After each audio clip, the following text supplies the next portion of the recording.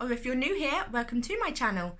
My name is Katie and I am a mummy of two and a wife of one.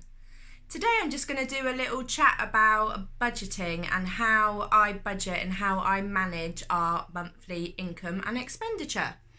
Um, budgeting is a very, very important subject. Apparently, it's the number one thing that couples argue about, and I can really understand why. I've been struggling lately with managing our budget, just been overspending. You know, you go in Asda to grab a loaf of bread and you come out and you spent 25 quid. Dear loaf of bread, right? So, yeah, I thought I would go back to basics. And what I'm going to show you now is what I used to do years and years and years ago. But lately, that's just all gone out the window, and I've just thought, sod it, I'll go in with all my money and it all gets spent and it's gone. So I'm going back to basics. So this is how I budget. Um, I do it, there's four steps basically that I do.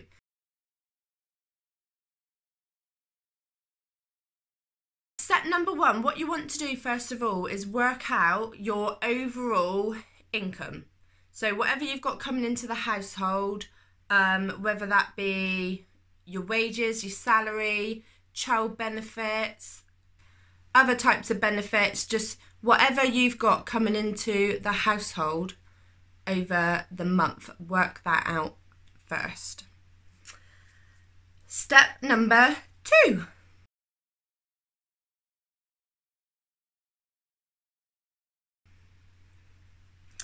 What you want to do now is work out all of your utilities.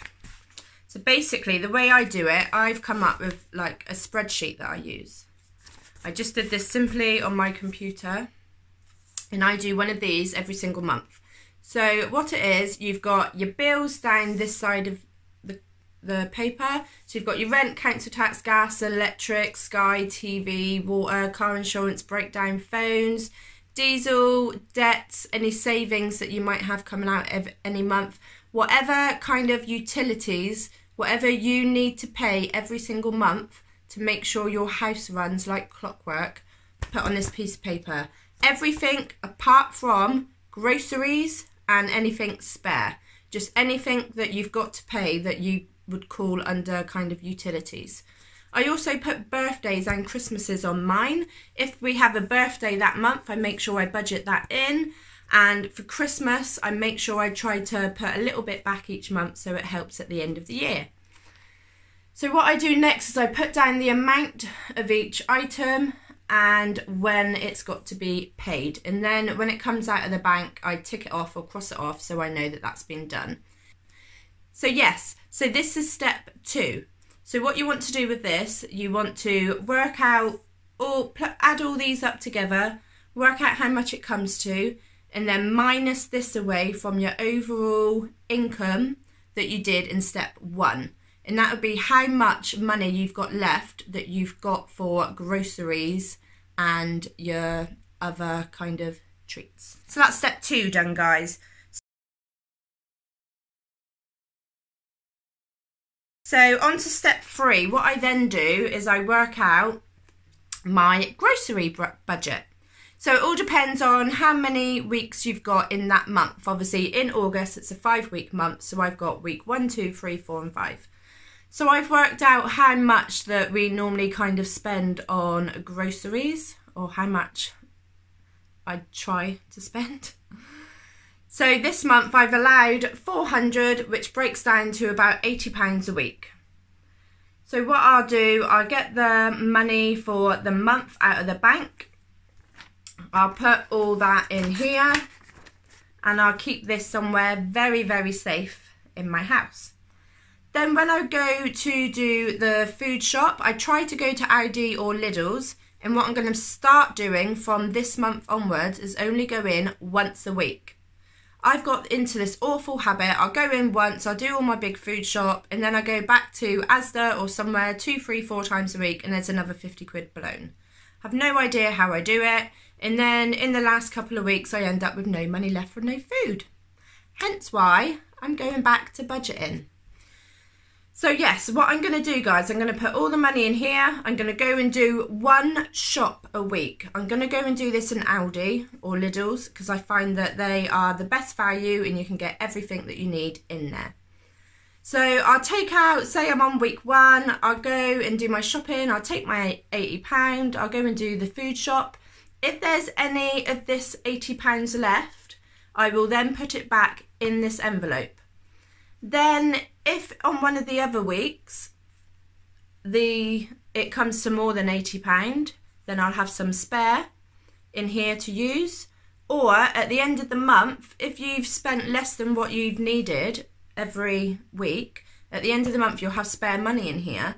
And what I'm going to do with that is put it into a little savings pot because I want to start doing some savings, you know, for a rainy day or if you ever need it. So that will go into the pot. So yes, that's your groceries. What I'm also going to do at the end of every single week is put the receipt inside of the envelope. So then at the end of the month, you can look back at your receipts, you can look back at what you've spent, what you've needed, what you could try to cut down on if you're trying to cut down on this overall figure. You know, you can you can work it out from there. A lot of the time I go in Aldi's or Lidl's and I pick up these special buys and I don't need them. I just pick them up because they're there. So obviously I can look back at the receipt, I can have a look at it and think, well, I didn't need that, I didn't need that. And then next month I might try to cut the budget down and not pick up these unnecessary items. So that's what I do for step three.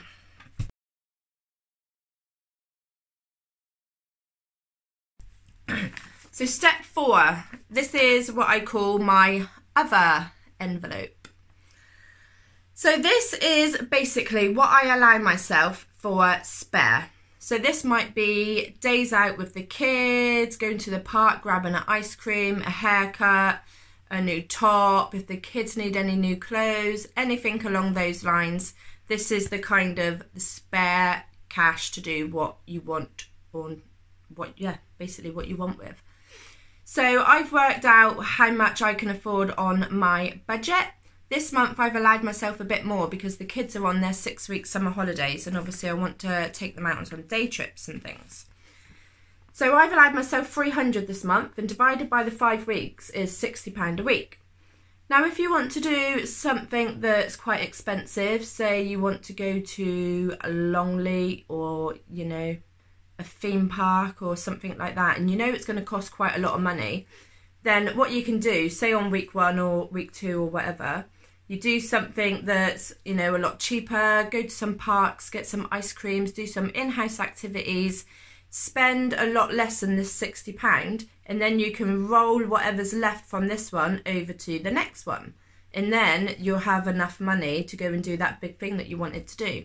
So it's about budgeting it's about understanding that you can't do three four five six great big things a month you might only be able to do one really good thing, but then you might be able to do lots of di um, different small things on the other weeks. So yeah, that's basically what I do for other.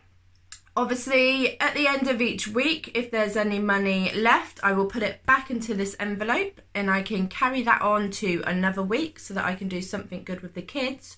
Or at the end of the month, again, if there's any money spare in this envelope, I can then transfer it into my savings tin.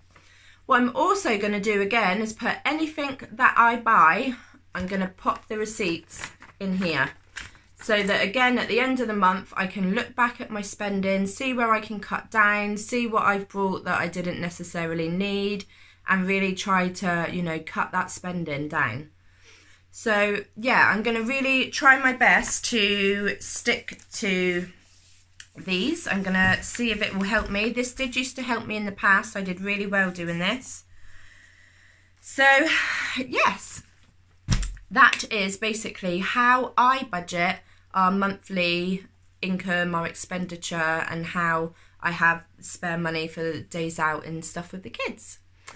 So yes guys, that's it from me for today. I hope you found this video useful. If you've got any hints, tips or tricks or you want to you know let pe other people know how you budget or how you manage your income or expenditure please feel free to drop a comment down below and I make sure I read all my comments and I will answer any questions back if you have any questions for me about anything you want, if it's to do with budgeting or anything else that you want to know, please don't be afraid to drop me a question down below and I will be really and I will be really happy to answer that for you.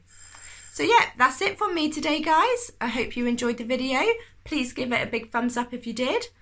If you want to see more from me soon, including more budgeting um, videos, debt videos, anything like that, I'm gonna I'm gonna do kind of a little series on budgeting and debt and things like that because I think it's really really important. So yeah, if you want to see any more of that from me, guys, then please push on the little subscribe button. And if you click the bell button as well, that will let you know when I upload next so that you don't miss a video. Thank you very much, guys. I will see you very soon. Bye.